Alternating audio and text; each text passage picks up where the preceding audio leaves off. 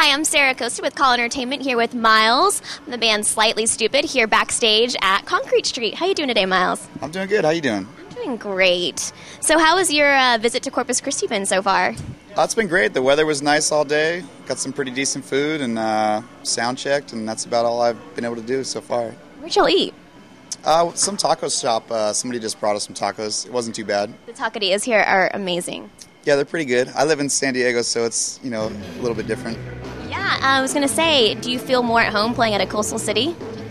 Oh, it's definitely nice being at, you know by the beach. Anytime like you can you can smell the ocean is you know that's pretty much the shit ever. I've been listening to you guys since high school, and with I feel like with every CD you do, you cross genres a little bit more. But how do you do that and still maintain this sound that Slightly Stoopid is known for?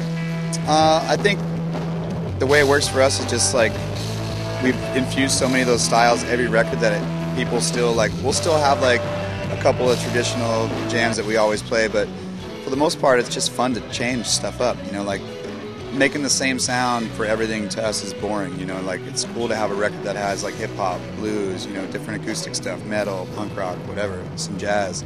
And uh, I think that's why the fans like it, though. You know, there's we have so many different kinds of people at the crowd too. Like fan base goes from like 12 to 60 years old. So we'll play some acoustic stuff. There'll be some old people in the back. We'll play some punk rock. There'll be some kids in the front. So it's, it's cool. You know, for us, it's I think diversity is really what, what keeps it alive. I understand you'll have a new CD coming out, or you're working on a new CD right now.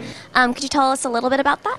Well, we uh, we have our own studio in San Diego now, so um, now we can just basically take our time and, and work through a lot of jams that we've been that we've been coming up with, and uh, we've been working the last four months. So hopefully, like by the end of summer, we can you know release something. Are we going to be lucky enough to hear some samples tonight? Yeah, we're probably going to play like three or four songs that are going to be on the record. Well, thank you so much, Miles, for talking with us. I hope you have a great show. Oh, thanks. Thanks for having us.